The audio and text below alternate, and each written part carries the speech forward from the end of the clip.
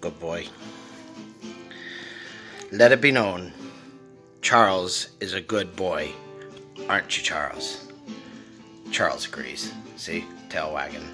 He's thinking about it. He's, am I? So yeah, I'm a good boy. Tuggy, you a good boy? Yeah, of course. Give me food.